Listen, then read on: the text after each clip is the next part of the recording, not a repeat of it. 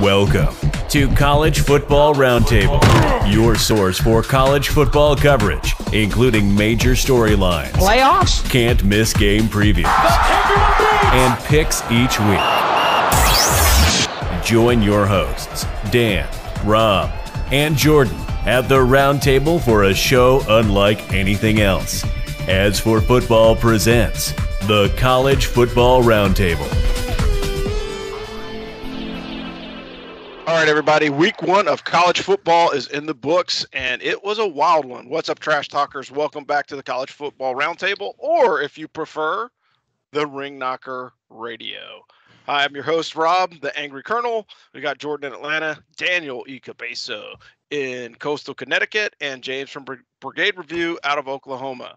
So we're going to dive right into this, and we're going to talk Service Academy results from last week. Army 1 0 having beaten Georgia State in Atlanta, 43 to 10. Jordan and I were at the game. We got to watch that live. Navy got smashed in their own building by Marshall, 49 to 7, and that was an ugly game. I think the second teamers had a better performance than the starters in that one. Air Force is 1 0. They beat the mighty Lafayette Leopards 35 to 14, which is kind of sketchy because it's a FCS team and you should shut those guys out and score a heck of a lot more points, but I'm sure that'll come up later in the season. Coast Guard Academy won 16 and 0. They were beat uh, the University of New England. Merchant Marine Academy was 49 to 27 over FDU Florham. Bottom line is Army looks good this season. Air Force looks okay, but they played their starters the whole time against a bad FCS team at home, so that could be an omen for uh, things to come which is still better than Navy, which actually looks terrible. And we have talked about it, and they might not win a game this season. And that would be depressing, but also wonderful, depending upon which side of the line you sit on. of note, uh, I had to bring this up just because uh, it, it, popped up in my feed when I was uh, checking out sports scores over the weekend. And there was a young man by the name of Ren Hefley, who is 38 for 58 with 538 yards and 10 touchdowns. He plays for Presbyterian, uh, the Blue Hose, which is a great name for a college football team. But even more impressive was the stats. He hung 10 touchdowns on the opposing team. Now, it was a basketball score. So when you looked at the final score of the game, it was 84 to 43. But uh, definitely somebody that could sneak into the Heisman discussion if he keeps performing like that week after week. Very, very similarly to. Uh, yeah, Steve McNair, many many moons ago. Uh, the other part of it is is so so much for player management. This guy was a walk on at Michigan, and somehow they let him go, and then he goes and throws ten TDs. And I'm not going to say that Michigan might need the help this season, but they're going to need the help this season. All right, we're going to toss it over to, to Dan real quick. We'll talk about the Commander in Chief Trophy status. It should be very, very quick, but uh, here we go. Yeah. So if the Commander in Chief's Trophy uh, contest, if the college football season ended today, Army would retain, not because they're one and zero, but because they won it last season and they haven't been beaten for it. Uh, we've got a big game this weekend, however, with the Zoomies traveling to Annapolis to take on the Squids, or Air Force taking on Navy if you don't call them Zoomies and Squids. But you should call them Zoomies and Squids because that is what they are.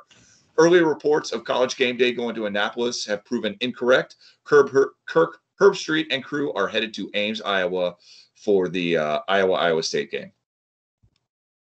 All right, moving on. We got the AP poll this week, top 10 standings. James will cover it. I know that uh, it hasn't been released officially yet, I don't think, because of the long weekend, but uh, let's kind of give a quick rundown of what happened over the weekend. Yeah, that's right. So uh, on the first week, it gets released on Tuesday, and every weekend after this, it'll be released on Sunday. So you guys all have this uh, released already in future podcasts, but for this week, uh, uh, no luck there. But teams that were ranked in the preseason – uh, ranking that lost were ranked 3, 10, 12, 16, 17, 20, and 23. So a lot of losses, a lot of shakes, uh, shake up expected in the top 25.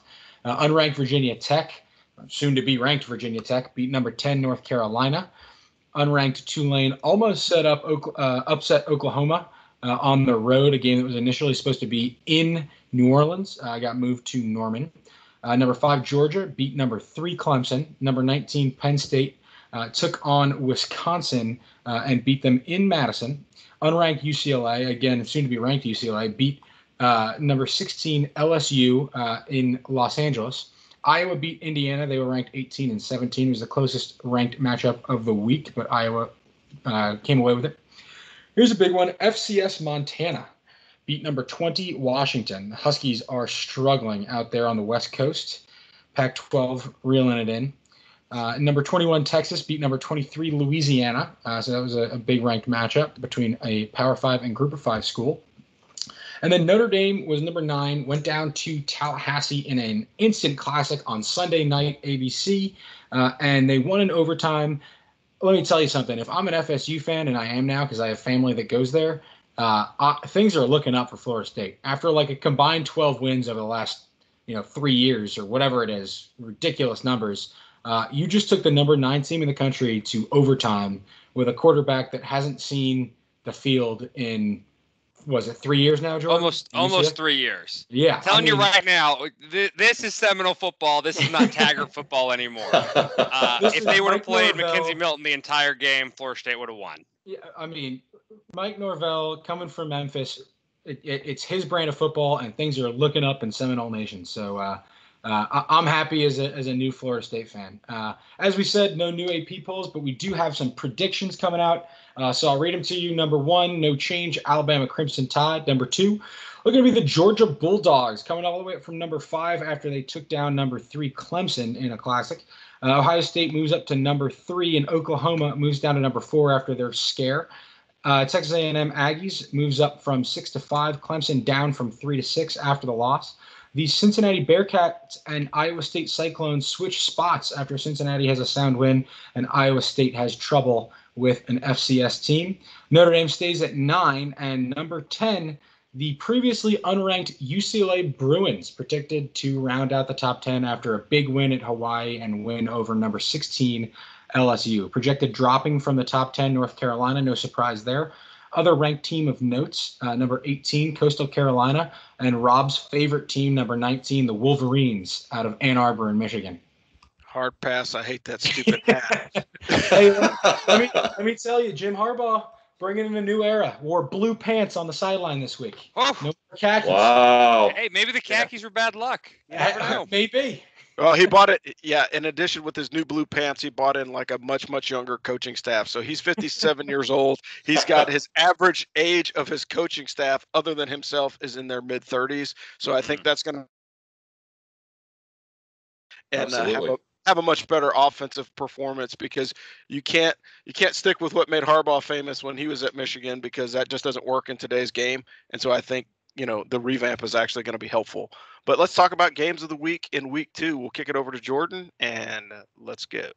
Yep. First and most importantly is Army hosting Western Kentucky at Michie Stadium Saturday, 11:30 on CBS Sports Networks. Opened Army minus four. Now it's Army six and a half.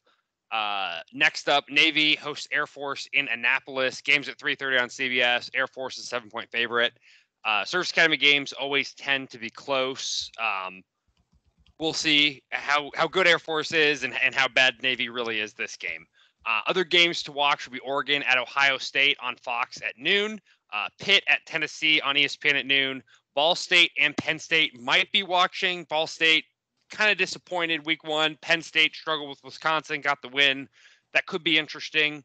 Iowa, Iowa State uh, on ABC at 4:30, and then App State at Miami, ESPNU 7:30. All right, now that's a rundown for this week, but we guess still got to talk about our picks and trap games of the week. Weekly locks. So, James, what are your thoughts? So, as uh, as you guys know, I will not be uh, making the bets this year, but I will be facilitating them. So, let's go over the scoreboard from last week. Uh, Dan had uh, Bowling Green plus 27. Uh, that was a miss, although the line much later in the week moved to like 37. It would have been a hit. Uh, but uh, alas, that's a minus one for Dan. He did hit Marshall minus 2.5, ended up winning by a lot more than 2.5. Jordan, with a good call at Minnesota plus 14, gets a bit of a bad beat at the end. Ohio State ends up winning by 14. You can blame Rob for uh, for jinxing you in the chat there, uh, but that, that's a that's going to be a wash. So uh, that, will be a zero for Jordan on the week, but he keeps the lead. Rob had Stanford plus three. They got blown out. He also had App State by 10, uh, and they covered. So at the end of this week, Dan is and Rob are tied in second at minus one overall. Jordan's got a one, uh, leading it out. I will say of note, Rob picked preseason Kansas under one win. They rushed the field after beating an FCS team. So we'll see. They just need one more. Right now, it's a wash, but uh, but we'll see. All right, yes. sounds good. Dan, what are your thoughts? Uh, what do you got this week? Yeah, man. Uh, this is the week that I take the lead. So I'm going to take. I got two picks and a trap game and a note. So I'm going to take Western Kentucky at Army over 54 points. I think this is going to be a shootout and it's going to be crazy and entertaining. I also I'm going to take Purdue minus 33 and a half at UConn. That feels like just stealing candy from a baby, but what can you do? I need the win. Um, UConn is dead. They are dead. Purdue is not dead. That's going to be just a murder. It's going to be a murder. My trap game, Ball State at Penn State. I don't know that Ball State is necessarily going to win, but Penn State's offense did not look good. Uh, Ball State certainly could win that one if Penn doesn't get it together. If Penn State, they continue to look like garbage. Finally, if Tennessee beats Pitt, the University of Pittsburgh this weekend, I'm going to be cautiously optimistic for the rest of the season for the Volunteers. All right, so we got uh, over 54 for Army Western Kentucky, and we got Purdue minus 33 in the hook for Dan. Jordan. That's right. Yep. What do you got? I'm going to take Notre Dame at 16 and a half versus Toledo. Uh, Notre Dame played really good football. Well, the, for, let me let me caveat. This is assuming that uh, Brian Kelly does not execute his entire team. if they survive the firing squad, I'm going to take Notre Dame at 16 and a half versus Toledo. And you know they played very well against a, in my opinion, a very good Florida State team. Florida State's going to resurge this year. They're going to a bowl. Very optimistic about Florida State and what they're going to do. I think Notre Dame played well. I think they have some things they need to execute better on, and, and I think they're going to win by at least three touchdowns against Toledo. So you got Notre Dame minus 16 in the hook. Is that all you're going for this week? That's that's all, I, I I only picked one. I don't know how many I'm supposed to pick. I wasn't here week one. I, I, missed the original assignment. I'm sorry. You can have up to two. So, okay. so but, but, but that's fine. So, uh, so Notre Dame minus 16 and a half uh, yeah. is is Jordan's pick for the week. Rob, what do you got? All right, so I've got OSU and Oregon. This is a recap of the playoff of a few years back. Uh, OSU is minus 10 with the over under being at 630. And I would take the over on this one for sure because I think uh, Oregon may come out and play a little bit harder than expected. But I think in typical fashion, uh, Ohio State will rally in the second half and they will score way more than 64 points in this game with both of these teams playing high powered offenses going. My trap game this week is I don't even know if it's a trap game because Nebraska has been playing so pathetically this season. But uh, you've got Buffalo going to Nebraska. I think the Huskers are suffering through an identity crisis as well as like some coaching issues and just you know who the who the hell knows what's going on there in uh, Nebraska but I think uh, they're going to slip up and land on the banana peel. And there's no line on the game just yet, but I think Buffalo will win outright and probably cover whatever the spread is going to be. So that right. is what. So we have we have uh, over 64 for Oregon at OSU, and we have Buffalo covering the opening uh, the opening spread for Buffalo, Nebraska, whatever that spread might be. Yeah, I, I think it's going to happen unless uh, right. something goes, unless something crazy happens in the betting line. I'm going to stick with that this week. Hey, folks, that basically covers uh, everything that we have this week for the college football roundtable. Hey, make sure if you are a fan of a team, reach out to us either at As for Football or hit up the VTT guys, Trash Talk Nation, and tell us what teams you want us to cover because we're going to focus in primarily on the academies just because it's more relatable to our veteran audience. However, we know that there's diehard fans from all over the country that are serving in the military, and we want to service you. So make sure that you guys give us uh, your picks and thoughts and ideas of what you guys want. And as always, we're going to be working to bring you the best content that we can. And if you have any questions, please reach out and we would love to have you. Go ahead. I, I just want to clarify real quick. We will not be servicing anyone, but we will talk about your. just wanted to clarify that. Don't get any ideas. I know you Navy guys out there might have got really excited right there, but that's not what we do here at As for Football. We talk about football. Yes, and that brings whole new meaning to black skirts as well with the Navy guys. But anyway, uh, hey, we're we're great, to, glad to be here, glad to be supporting you guys, uh, doing some cross promotional stuff and bringing you as much football action as you can handle. And we will catch you guys next week. Thanks. Go Army, beat them. Thanks for listening to the AsForFootball.com College Football Roundtable. Join the As for Football team for our next episode as we bring you more hot takes and college football analysis. We would like to thank our sponsor at Emblem Athletic. Be your own hero for your unit or team today. You can find us at AsForFootball.com and on Twitter, Instagram, and Patreon at AsForFootball.